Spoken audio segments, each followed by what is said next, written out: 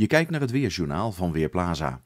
Er trekken nog wat wolken over Nederland, maar er zijn ook brede opklaringen. Die wolken zijn echter wel behoorlijk dik en er vallen stevige buien uit met kans op hagel en ook onweer is nog steeds mogelijk.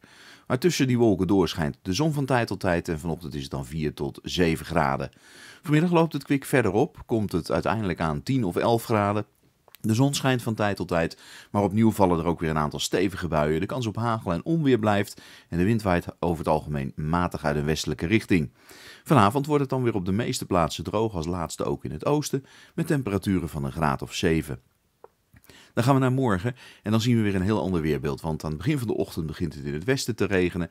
En aan het eind van de dag regent het ook in het zuidoosten. Dan begint het in het westen wel weer wat op te klaren. Temperaturen voor de neerslag uit in het zuidoosten nog 13 graden. Verder een graad of 11, ook op zaterdag, zondag en maandag is het wat zachter. En geleidelijk begint de kans op neerslag toch echt af te nemen. Helemaal droog kan ik het nog niet beloven, maar vooral zondag en ook maandag is de neerslagkans niet heel groot en schijnt de zon geregeld.